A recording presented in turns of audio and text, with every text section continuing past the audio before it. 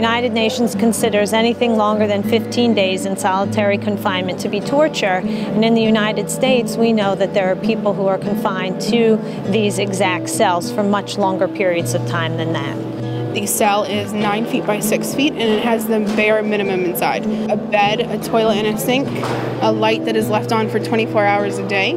The sound is actual recordings of inmates in the cell block. It's really opening a large dialogue, and that's exactly what we were hoping to do. Me just being in that tight space, I felt uncomfortable. I felt like a caged animal, you know, people talking to me and outside, all around me. I didn't think it was going to be as bad as it actually was because you hear people screaming, you hear banging, you feel uncertain, you don't feel safe. I don't really think that anyone should go through this, no matter how bad their crimes may be. It raises questions on the treatment of people and what we as a society accept or what we justify. Torture's wrong. Torture is wrong at every level, no matter what crime you committed.